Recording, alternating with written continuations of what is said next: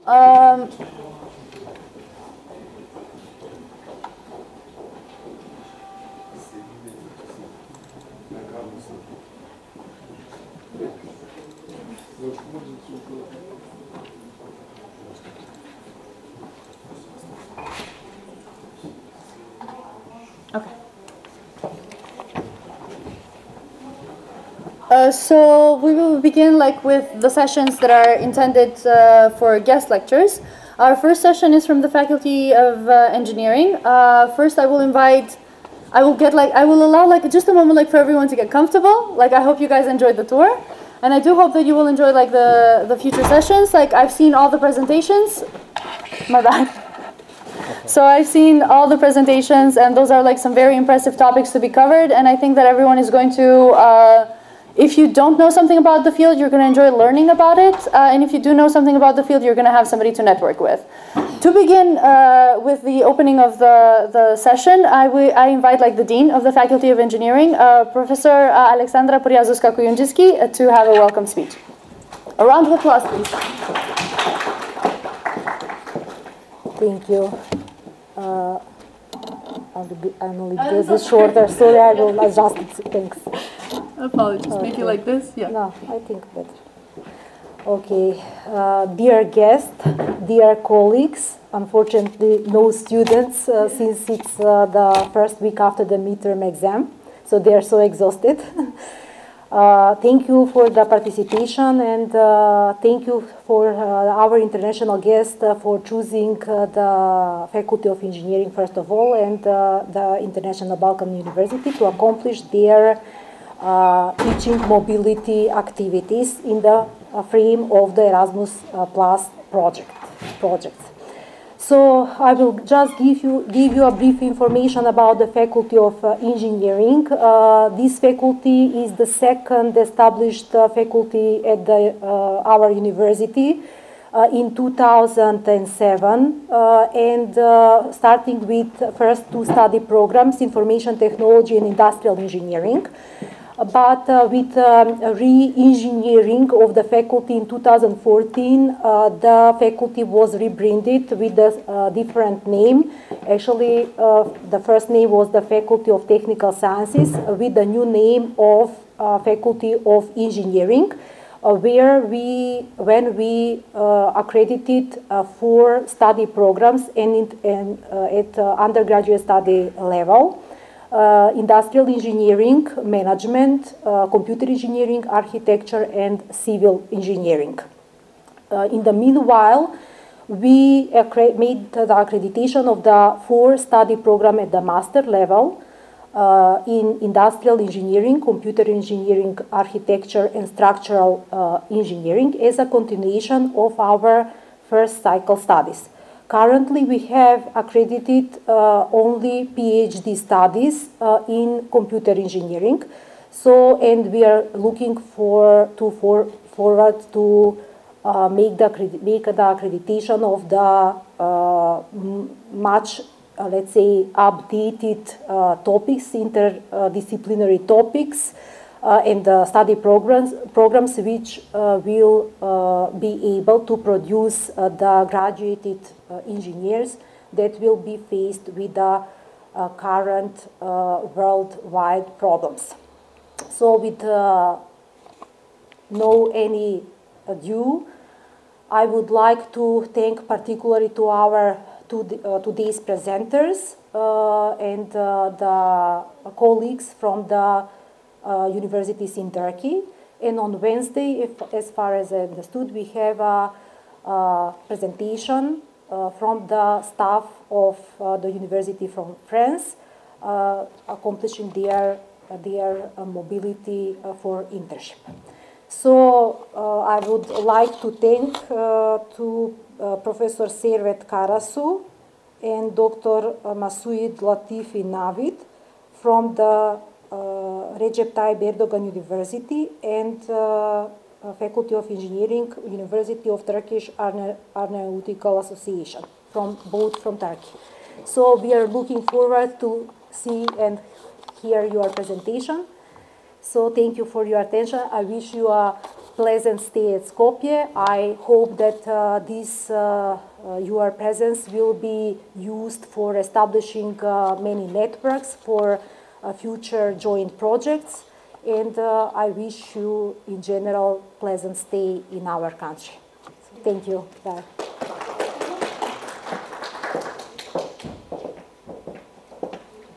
So as the Dean mentioned, first up we have Dr. Servet Karasu uh, with the topic on an overview of harbor planning and field studies in coastal structures.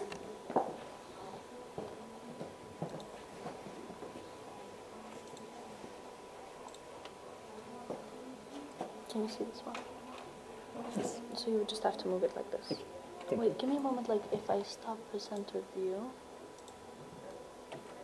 Is this better? Yes, Yeah, thank you very much. no problem. Dear Dean, dear Your Office, and dear my colleagues, thank you for hosting and thank you for your hospitality. Uh, my presentation, I am, uh, my name is Servet Karasu from uh, Civil Engineering Department, Recep Tayyip Erdoğan University, Rize, Turkey. And uh, I will give a presentation about the harbor planning uh, because of my expertise. I don't want to give some more uh, technical details. I'll have some, actually, I will give the outline of the, this is the outline of my presentation. I will start with the promotion of Rize, province of Rize and uh, our university, Recep Tayyip Erdoğan University. I will give some definitions about the harbors and uh, field studies for harbor planning, uh, laboratory simulations, and I will give uh, a case study results at the end of my presentations. I will have some videos, maybe I don't want to bore you, and I will use more pictures. You know the, where Turkey is. Uh, I am coming from the city of Rize, is northeastern part of Turkey, and the total coastline is over 8,000 kilometers. Turkey is a peninsula, as you can see, and uh, because of the uh, this number of coastline, uh, coastal structures and harbors is very important to us. Uh, maybe we have every 100 kilometers, we have one harbor in each city. Turkey, uh, Rize has a 8 kilometers coastline in the Black Sea, northeastern part of Black Sea. The population is 350,000 whole province, and nearly half of the people is living in the center. And uh, Rize is the rainiest city in Turkey. Uh, annual average precipitation is 3.30 uh, meters. It's raining uh, more higher than me, two meters every year. Half of the years is rainy, and maybe this is the rainiest one of the rainiest in the world. So, because of rain, whenever people say Rize, and the tea is comes to mind to people. Rize Maybe you hear that. And the second activity in uh, Rize is uh, fishing. Plus the uh, most important one. Tea. After tea, it's coming fishing. Our university founded 2006. Uh, actually, uh, before this date, we together with the Karadeniz Technical University in Trabzon, and we separated from at this date 2006. Now we have one institute, uh, 15 faculties, three high schools, six vocational schools, and over 15,000 students. Now I will give some definitions about the ports and harbors because my presentation is related with the harbors. Uh, a port, you know, uh, I'm sure most of you saw a port. This is the busiest and largest port in Europe. Europe. This is the Rotterdam uh, uh, port. A port is a location on a coast or shore containing one or more harbors where ships can dock and transfer people or cargo, cargo to or from land. Harbor is a little bit smaller than ports. Uh, and this is the two different harbors. And also in English, English and in American English, uh, a small difference. English, English, uh, there is a, they are using U sign, but in American English, they use like that, harbor. There is no U sign. If we classify the harbors, uh, at the beginning we have artificial harbors, and these are man-made harbors, and uh, we have uh, breakwaters, main breakwaters, and secondary breakwaters. This is the view of Rize harbor. The second one, natural harbors. Some harbors is natural, and this is protected uh, the waves to ships in natural wave, like in this picture. And some of them also semi-natural uh, harbors. One side is natural, the other side is uh, man-made breakwaters has.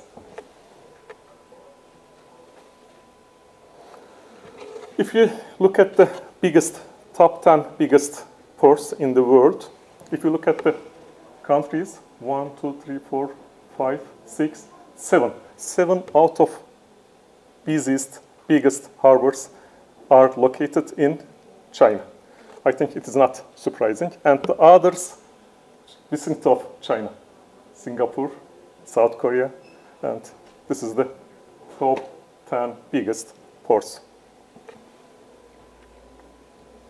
And the most important thing to choose the site for a harbor, these are the seven uh, important uh, things to choose a site. First, we have to look at the availability of land and construction material because we have to use lots of materials for construction a harbor. And the second one, nature protection from waves and winds. Transportation and communication facilities should be taken into consideration. And what is the, we have to look at the industrial development for locality. And also, uh, in terms of geotechnical issues, we have to look at the seabed, subsoil, foundations. We have to look at, the, we have to take into consideration. And also defense and strategic aspects is also important. And traffic potentiality of the harbor is another issue to choose a site. What are we doing for investigating a harbor location? First, we have to know the morphology of harbor. What is the bathymetry? What is the uh, bathymetry of harbor? Uh, it is more important, most important thing, uh, the location of harbor and morphology of sea bottom. And we have to define, we have to determine the morphology of harbor. So we have to know the bottom morphology and we have to make some measurements. We are using some tools. One of them is, as you can see in this picture, called uh, Echo Sounder. It is possible to measure the depths up to 75 meters. And this is a single beam echo sounder, and also we can use sometimes multi beam echo sounders. And as you can see, we are using a, a rubber boat or wooden boats. And in the boats, we are using a GPS to collect the uh, positioning data. And uh, echo sounder is connected under the sea level, maybe 25 centimeter is enough. And uh, echo sounder collect the depth data. And there is a computer on the boat, and the computer uh, connect each other and collected all of the positioning data and also depth data together. After we collect, this is the, uh, the picture from the operation.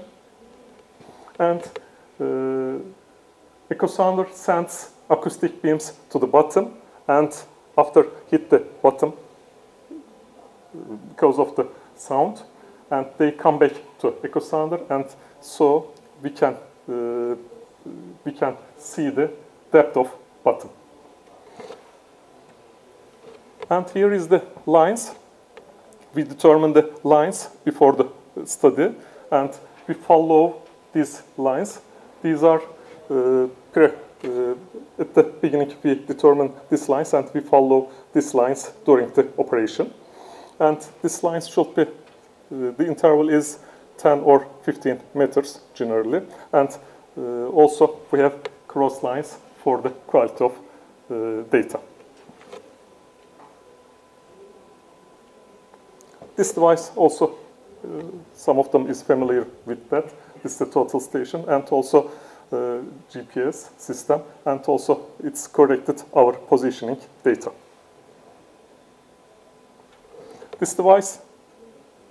Uh, help us for corrections of our sound velocity because during the uh, measurements, salinity, uh, density, and temperature affect the sound velocity, and we have to know the, this data, and after operation, we have to correct the sound velocity data. After collected the, all of the data, we have to check in three-dimensional hydrographic map we are using, and we look at the, all of the uh, uh, bathymetry data. We checked the data, and we created the lines we obtained during the operation, and also we created 3D view of the bottom. After we created 3D vision of sea bottom, we can now uh, it is time to decide the, where can put the location of the breakwaters. And also uh, now you can see the bottom uh, of topography. You can see the depths in this picture. And after we determine the morph morphology of the bottom, uh, it is easier to put the breakwaters in here. If you look at the breakwaters, we refrain from the beak holes in left side and in front of the breakwater also there are some holes and we refrain from these bottoms because of morphology. And also you can see the location of the breakwaters. We refrain from the big holes. After we decided the location of the breakwaters, we have to know the soil specifications. So we have to make some drillings uh, just under the breakwaters and uh, wave, uh, also harbor basin. We know the specification of soils and we choose some places to look at the uh, soil specifications. So we have to drill to these locations and take, we have to take some samples. And now you can see on the left side, this is the depth is in here 20 meters, and we uh, we went to uh, we took the sand samples in here. Another we go to another 20 meters. Totally, we reached 40 meters depth from sea level. And I will show a, a short video related with the, this drilling. I want to show you.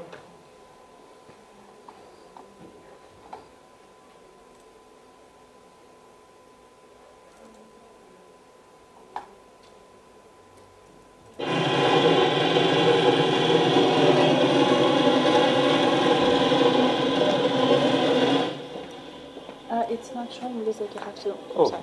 sorry. Oh, no, it's okay. Oh, maybe. Yeah. No, uh, you have to do like a slideshow and then from beginning, and then be the you. This drilling belongs to study, during the study.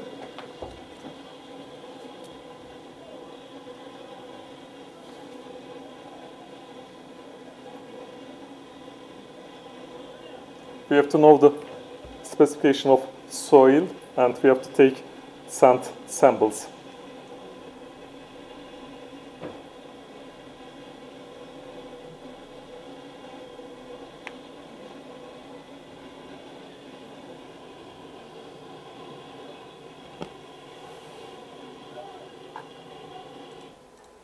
Maybe you get the idea because it's enough, I think. Let's continue with the second video? yeah. No, uh, With the presentation, presentation? yes. Okay. Is this the one? Is it okay? Yes. Okay. And the other things, we have to uh, determine the winds and waves. Because three important param- there are three important parameters for harbor planning. We have to know the wave heights, wave period, and wave direction. And we have to determine these three parameters. To determine these th- three parameters, we have using some methods. This is the uh, first method. Uh, these devices collect the data directly. We called this device WaveBuoy. This is uh, to collect the data with WaveBuoy. It's uh, really expensive. It's very expensive devices, and uh, these are collected the wave heights, wave directions, and the other parameters. And uh, this is a very, very reliable uh, method to collect the data. If we don't have these tools, what we should do? And the second one, and also this is called ADCP, acoustic Doppler, acoustic current profiler, and also collect the, it is possible to collect the data with this device. This is also uh, very expensive devices. If we don't have WaveBuoy or ADCP, what should we do? This is the second method. We are using uh, mathematical models. Uh, we are using satellite data, and from the satellite data, uh, we try to find wave directions, wave heights, and the other parameters. Now, we, you can see in the uh, first picture, we called wave rose, and it is possible to see the wave direction. Now, you can see the wave direction is northwest, and you can see the wave height, period, and the other parameters easily from mathematical models. This is cheaper than the other one, but the first one is more reliable if you have enough time and enough money. And the, uh, the other important thing, uh, we have to determine the oscillation of harbor. Uh, you choose the uh, breakwaters, you choose the location of uh, harbor, uh, and you have to check the oscillation of the harbor. The, what is the waves? What should be uh, the waves inside the harbor? And also, we are using uh, some mathematical models for harbor oscillation.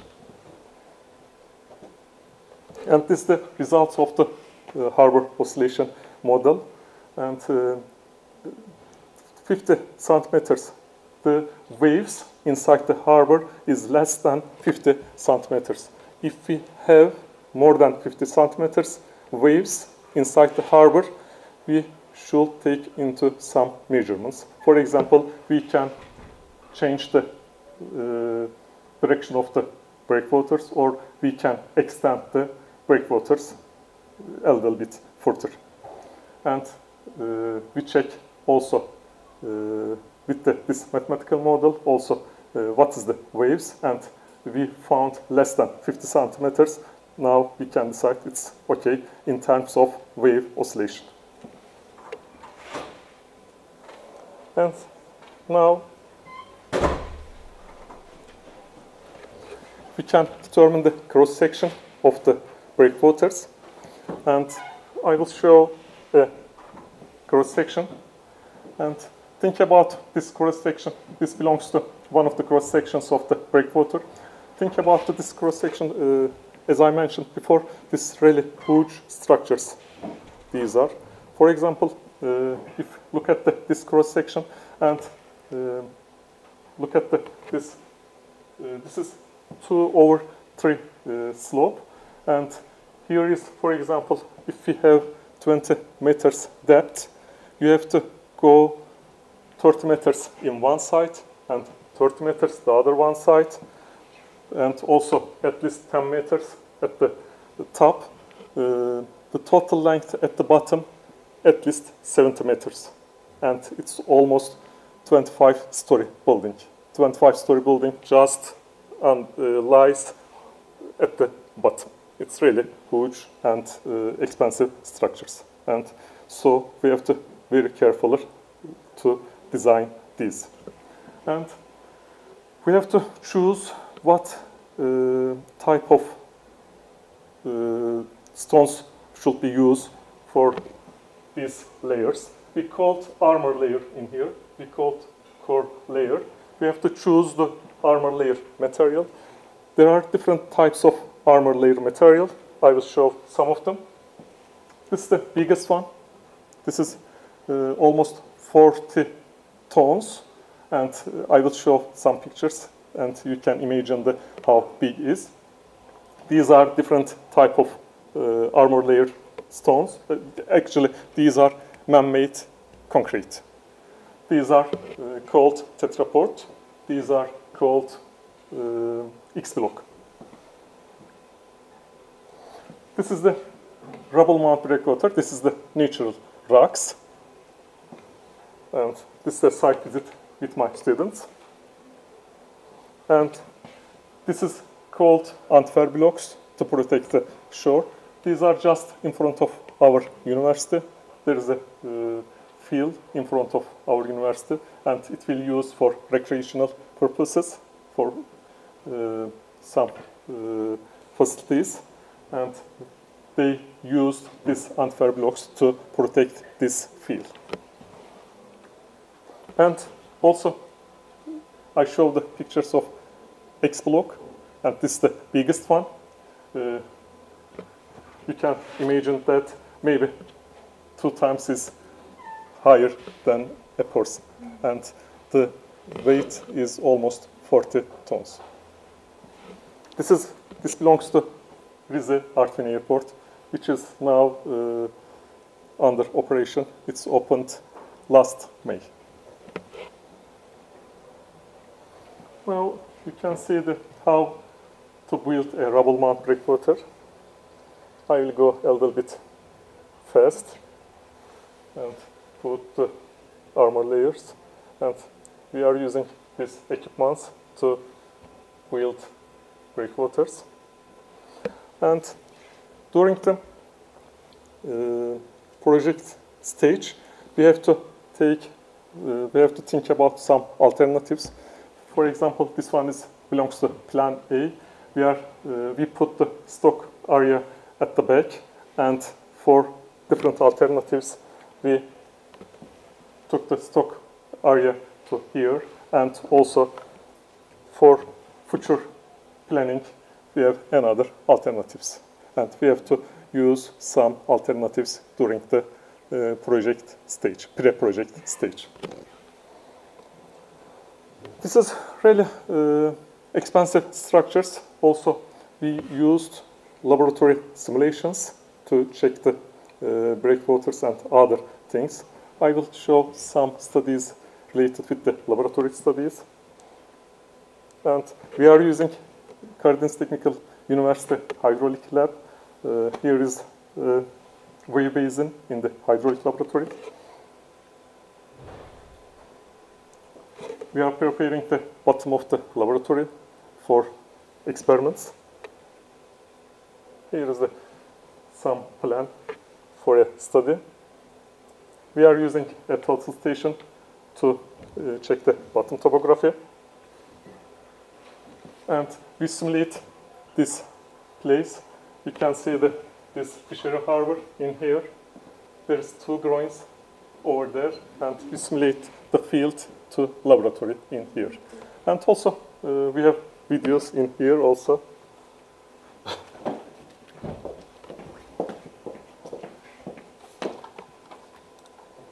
This one? Second one, yes.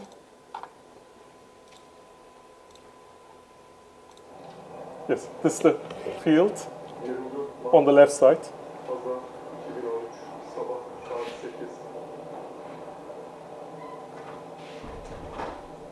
This is Fisher Harbor. Should I play them at the same time or like? No, Okay. no, it's not possible. I wish. yeah. So you can see. Yes. We try to simulate the nature to laboratory.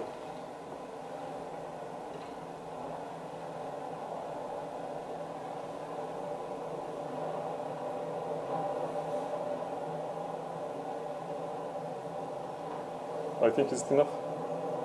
So, because we're a little bit ahead of our agenda. Now we're simulating on the laboratory at the same place.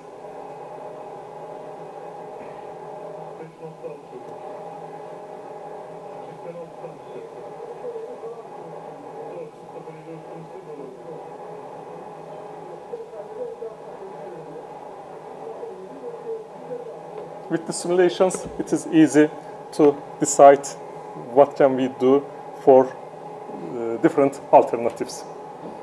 Yes, that's it. I think it's enough.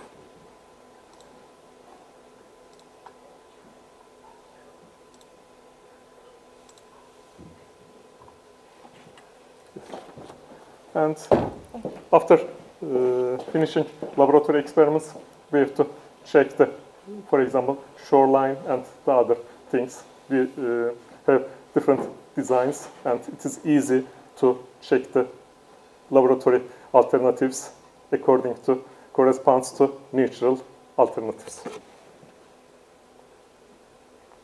Now I will uh, give uh, some information about the case study.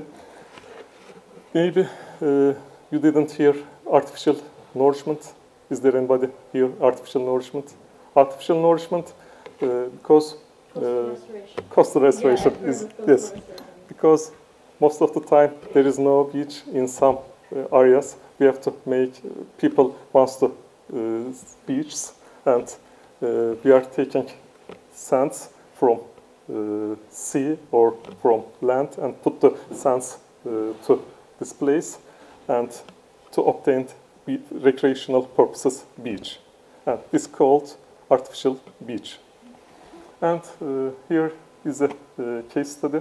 Rize municipality chose this place because of uh, there are two groins to protect this area. They put almost 80,000 cubic meters sand and put this area like this. And here is my uh, master students. And uh, we decided to uh, check the performance of this beach, uh, we look, uh, we decided that if we, uh, this beach will be succeed or fail, and we follow the, this beach one year. We follow the, all of the movement. Here is the land surveys. Uh, a mobile satellite receiver we used. It, uh, we fixed just a, backpack and we collect the positioning data like that in the uh, land and up to one meter depth. After one meter depth, we used uh, rubber boat, as you can see before. And also, we uh, have our studies continue one year. Every one month, we did the same studies in periodically.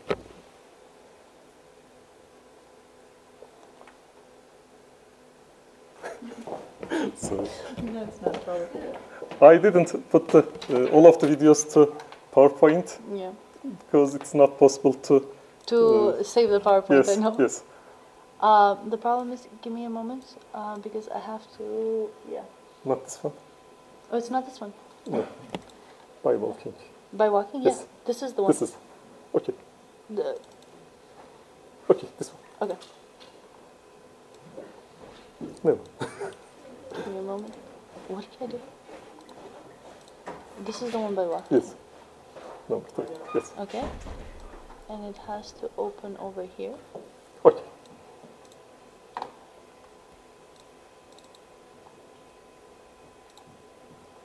Now we are collecting the depths up to one meter like that. Here is my other master students. Yeah. How many points did they get for this? This is a couple, a couple of times faster. Yes, this is the actual. And with this way, we collected the depths. Actually, after uh, this uh, scenes, we lost our drone. and it's out of control, and we lost the drone uh, after that one. Give me a moment. Oh, this is the one? Okay. Uh, Yeah, I'm sorry, wait, wait, I will stop it. Number four, maybe. Feel, is it feel yes. Uh, I will continue with the. Oh, with the presentation. okay. Presentation, Just give me a moment because like I have to drag this from the other. Give me a. Uh, RIT guy is not here, so you're gonna have to like bear with me. Uh, we will continue the slideshow from the current slide. And okay, problem solved. It's uh, maybe you should sit here. Yeah, okay, I'll It's sit here. yes. We, uh, we followed these lines during the uh, moment of the beach nourishment, and I will show. Yes, another video. Okay. I will show the moment of our boat, our survey. So this is the Yes. one. Okay. Um, give me a moment. So the, Other one. oh, this one. No. This one. This one? Okay. Just give me a moment. Yeah. Now you can see the, our lines, and our boat is going these lines. We obtained these lines after the study. now we are taking our measurements, and we follow all of the materials. What happens to sand? Where are they going?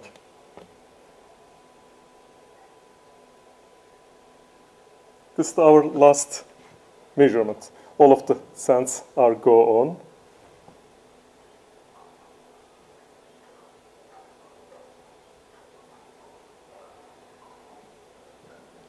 We choose calm weather.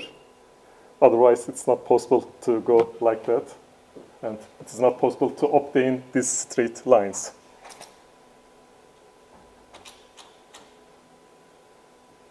The beach was in here, but this is the last measurement. All of the materials goes to cross shore, and then I will show the results of this measurement.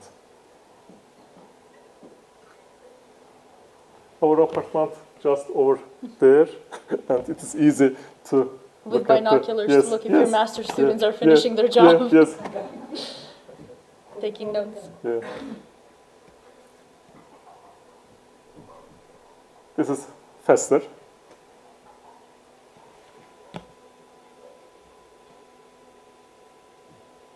Maybe two or three times faster. Look at the cars. Yeah. Actually, we have to keep some. Uh, uh, we have to take control our speed. It should be four knot. It's equal to two meter per second. If we exceed that one, uh, data is not uh, collected very well. I think this is enough.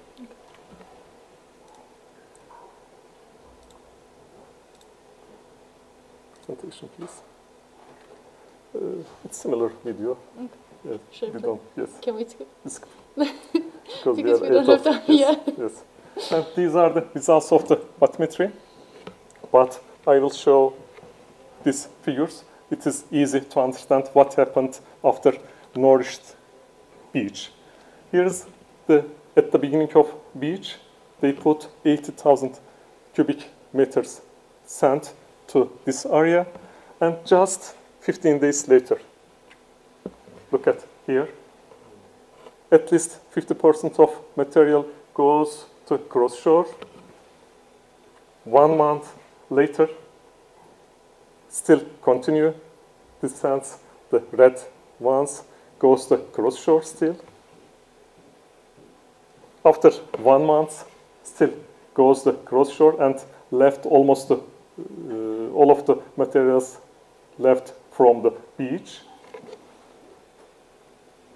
Another one month, and if you look at the reds, red points, it goes to it completed the cross shore movement and they started to they started to the red ones it's not uh, seen very well. It is easier to uh, show, uh, look at the, uh, see in here. Here is a little bit red lines, and movement is goes to, here is the north, sand is goes to from west to east because of dominant wave direction. Dominant wave direction for this area from uh, northwest and due to the, this wave direction, of the material goes from west to east.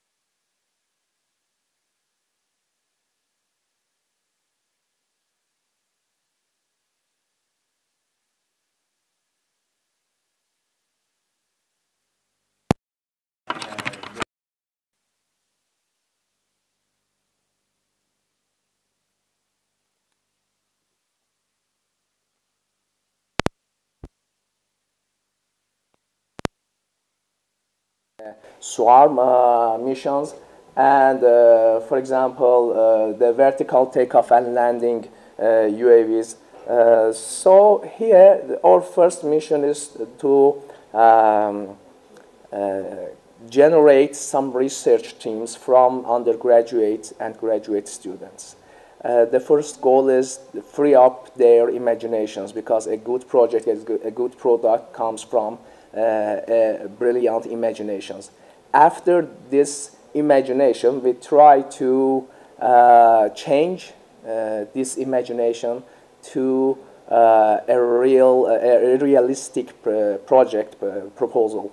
And then we, we try to define some work packages uh, with uh, key performance indicators in order to follow up the uh, Uh, project uh, progress and uh, then we define the short, mid-term and long-term actually goals for our teams.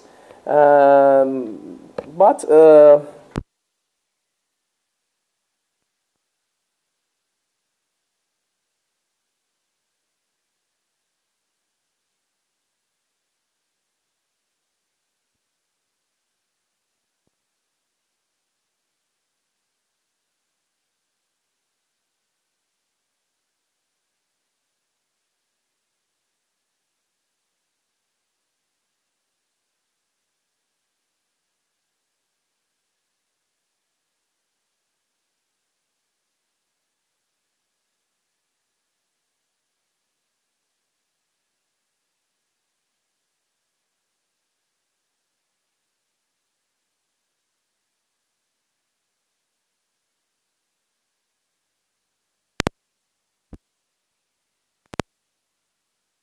was really chaos to manage the, all of the projects together with.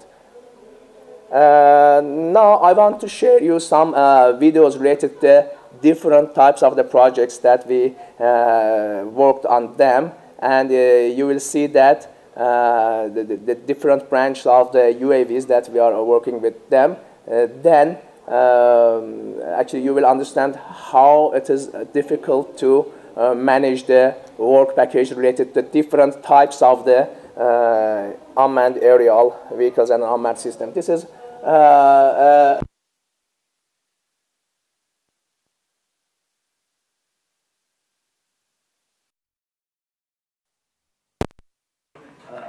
drone flying. it is composed of some seeker sensors in front of it and the seeker sensors find the uh, drone and it is uh, autonomously, uh, they, guide the UAV toward the drone autonomously. The next example is related to the uh, indoor non-GPS guided mapping uh, drone for uh, using, in the, for example, caves and indoor missions in order to prevent uh, in order to generate um, maps of the uh, indoor places and also autonomously prevent any collision uh, when the drone flies. So on, on, on the drone we have a couple of sensors like, like ultrasonic sensors and the LiDARs in order to uh, generate the map of the uh, indoor places. So uh, actually this, this project is completely different with the previous one because in the previous one we uh, get uh, we get the uh, GPS data but here we have not any GPS uh, feedback. Uh, but there are also fundamental similarities that we, we want to focus on them while uh, presenting the uh, or uh, actually special project management techniques. The next example that I want to share with you is a hybrid UAV UGV swarm system, which is uh, composed of two drones, multi-copter drones, and one unmanned uh, uh, ground vehicle that we have the real-time video transmission in our system in order to uh, intelligently detect the uh, object and then uh, with the uh, cargo drone we will send some kind of medical assistance to uh, the uh, area that uh, is necessary. As you see, uh, this is our ground vehicle. There is a, a drone on the uh, ground vehicle, on the robot, uh, and uh, it has a camera in order to send uh, videos uh, in real time. In the, it actually, we designed this platform for disaster management in the, uh, for example, like earthquakes and uh, natural disasters. Uh, the drone sends uh, the video in real time to the ground station and uh, also it automatically identify the people uh, using the intelligent algorithms and then uh, shares the GPS coordinate of the object, GPS coordinate of the person with the ground station, then the cargo drone uh, will go to the same uh, coordinate and uh, drop the uh, cargo. See, this is the uh, intelligent detection of the people, and this is the cargo sending operation. Again, th- th- th- this is a very different and uh, different uh, project, but uh, we should figure out some similarities, some actually um, similar work packages with the previous uh, projects in order to uh, actually manage all the projects together with in order to save the time, save the efforts, and uh, increase the efficiency of all uh, project management. Uh, this is the, uh, actually, I think uh, the last example, maybe, hybrid balloon and multi-copter system. It's composed of balloon and a quadcopter, and it, it, it, is, it is used for surveillance missions in order to observe the borders, the, the maybe uh, jungles, the uh, uh, nation, in, in, order to um, uh, send the real-time video uh, data to the ground station and uh, sometimes managing the uh, operation. Here, uh, the uh, lift is uh, supplied by the balloon, and uh, if it uh, passes its predefined route, the uh, multicopter actually revises the route and uh, sends it back to the, uh, the uh, route uh, in the uh, mission area. This is the real-time video transmission by uh, using this uh, system.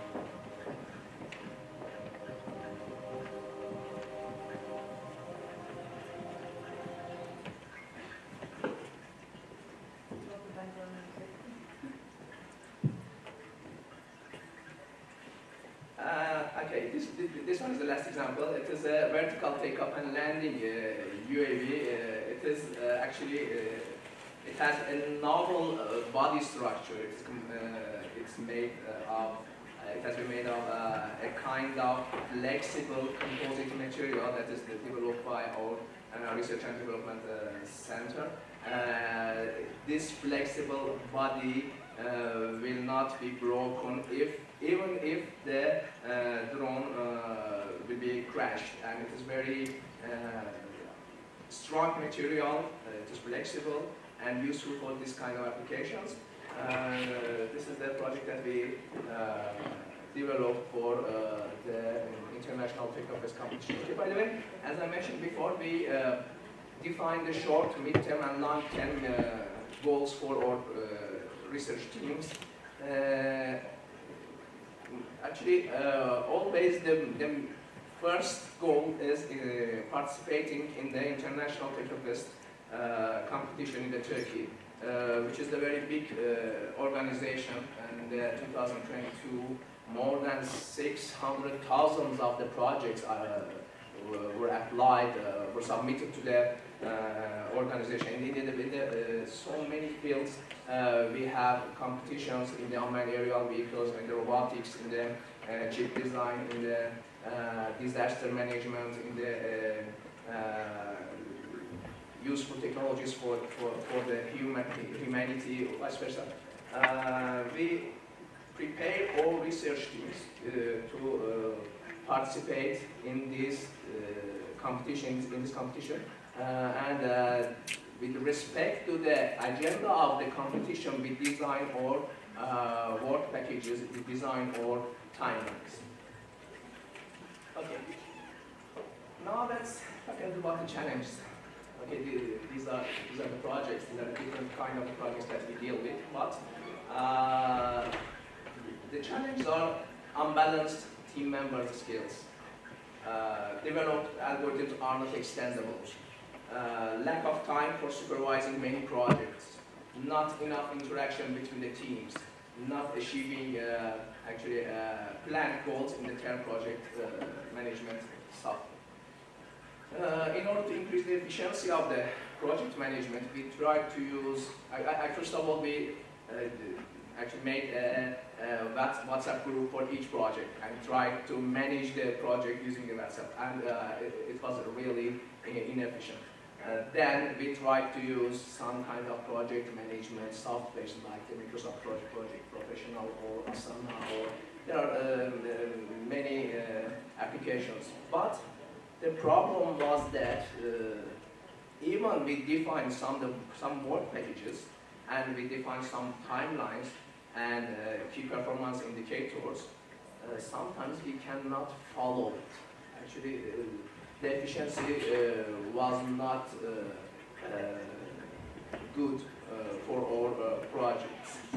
Um, we found, found out that sometimes the team members in the projects uh, are uh, specialized in, in, in a, a single field. For example, in the software engineering, in the or, for, uh, or in the mechanical engineering. So we try to uh, um, make the team from different disciplines, from management department, from industrial engineering, mechanical engineering, electrical engineering, uh, mechatronic engineering, in order to uh, share the uh, work packages with them, share the load of the work packages with them. Because uh, when you uh, work on a project like unmanned aerials vehicle, unmanned system, there are uh, uh, so many types of the uh, work packages. You should deal with the communication, you should deal with the design, uh, airfoil analysis, uh, mechanical uh, analysis, mechanical design, uh, circuit design, uh, software engineering, vice versa. Uh, uh, your team should be expert in all of the disciplines. If you cannot manage a team, uh, if, you, if you cannot uh, develop uh, a team with um, uh, expertise in the- all of these fields, uh, there, uh, it will be an asymmetry. You cannot uh, reach the goals in the design, in the planned uh, time.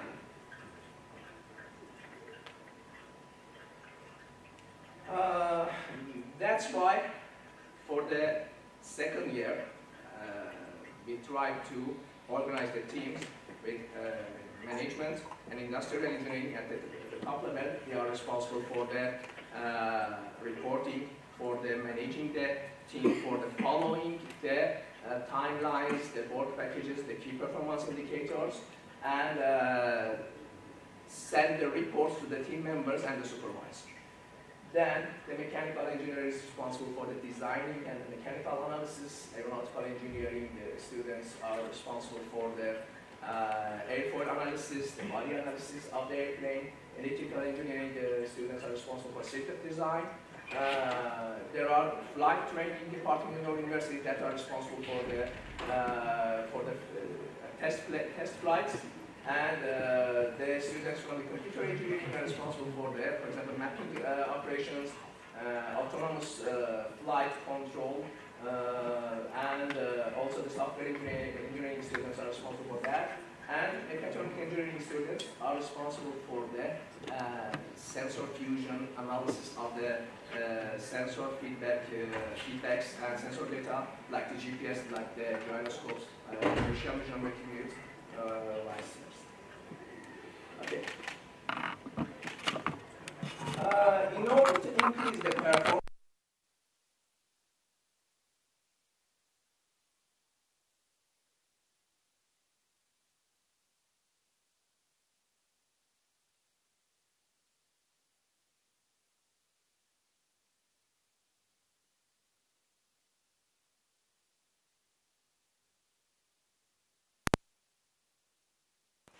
They are independent of each other. Just we have a messaging system uh, between them. We send the message. Don't care what is happening inside the node, inside the block.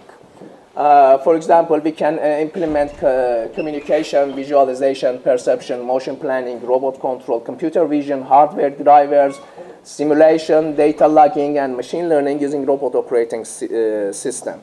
Uh, and uh, you don't need to, for example, write a whole system with a single programming language, uh, for example, like C++. You can have a node with Python, you can have a node with Java, you can have a node with C++, and using the robot operating system, you can send the uh, message to a node and uh, only get the response and use the response from uh, that node as input of the other node. So uh, it is very helpful for us in the robotics. Actually, we inspired from this system in order to uh, uh, actually develop a new uh, project management uh, technique. Uh, this is the example that I mentioned. There are messaging, messaging systems between the nodes. For example, this is the service client, ser- service server, and subscriber node. And only we send the uh, message and get the response. Uh, it is uh, similar to the um, object-oriented programming. Uh, you, you may know in the computer uh, engineering. Uh, course in the computer engineering. Yeah. actually we define some uh, classes and we don't care what is inside the class only we uh, get the uh, output of the uh, methods of the classes it is similar to uh, that okay uh, we use this inspiration in the project management uh, we try to define some um, uh, similar nodes for the projects. Actually, in all of the projects that I mentioned before, we have communication. We need to have a real-time, uh, maybe uh, video transmission. We need to uh, make wireless communication between the ground station and the UAV. Uh, we need to have serial communication between the autopilot chip and the uh, ground station. Uh, we need to uh, get the feedback from the UAV sensors uh, in real time. So the communication node is important and it is, it is necessary for all of the similar projects. The next one is object detection node. In the, for example, in the um, Hunter uh, drone, Hunter uh, UAV, uh, we need to detect the uh, illegal uh, flying uh, drone. In the, for example, uh, hybrid UAV uh, and UGV project, we need to detect the uh, person in the uh, disaster area. And uh, we define the object detection node uh, as the second node. The flight training node. In all of the projects, we need to have a uh, flight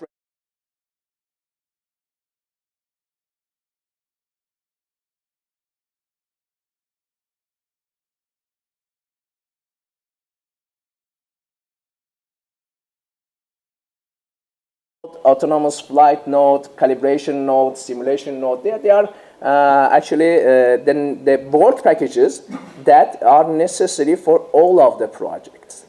So uh, we, uh, in our teams, we have one person that is responsible for uh, one, each of these nodes. So we prevent any kind of uh, repeat in the workshops. We don't need to uh, actually have the workshop, the same workshop over and over for each team. Only for each node and the responsible person in the team, we can uh, have our workshops and uh, uh, we can train them. Also, uh, in that note, they are the people from different projects. They can learn from each other. They can change their, uh, they actually share their knowledge, and uh, they can transfer their knowledge to the next uh, people who will uh, actually participate in our uh, R&D center in the next semesters. Uh,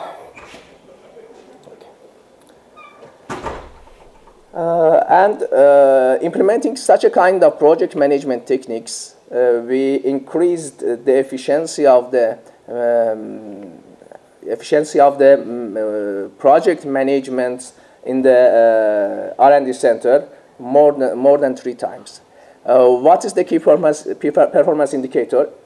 Uh, actually, the UAV is a whole system, and when you want to measure the uh, efficiency of the project management, all of the infra infrastructures should be ready, and uh, then you can uh, have a test flight. So the number of test flights shows the uh, progress of the uh, project. And using such a kind of project management, we could increase the number of test flights within the last three months three times in comparison with the previous year. Okay, it was a very fast uh, and a brief uh, introduction about our system. Thank you very much. If you have any questions. Uh, thank you so much to Dr. Latifi Navid. Uh, apologies for rushing you a little bit, but I think uh, the major points were covered and the most interesting points were covered, like those that make uh, people like pay attention to, to the topic. And if anybody obviously like has any additional questions or uh, if you want to get together later, you can ask him personally. And also you can, uh, the um, as you know, like the members of the engineering faculty are required to be tomorrow at the presentation of the CESI École d'Ingénieur. Um, yeah, thank you for the confirmation that I pronounced that correctly. Uh, starting like at 1 p.m. Uh, tomorrow uh, on the same floor. So you'll be able to like ask him questions and you'll be able to interact more among yourselves and also like you will have like a meeting with, uh, you will meet the dean and you'll be able like to uh, ask and discuss and hopefully collaborate in uh, any projects. So for, what did I say? Oh my bad. So sorry. uh, yeah. Uh, so like the meeting like with CESI is uh, on Wednesday at B301 at 1 uh, p.m. I apologize. So those of you that are here, apart from the students, students have to stay here. Uh, can go outside on the coffee break while we invite like the uh, panel that needs to come now. Thank you so much for your time. Yeah.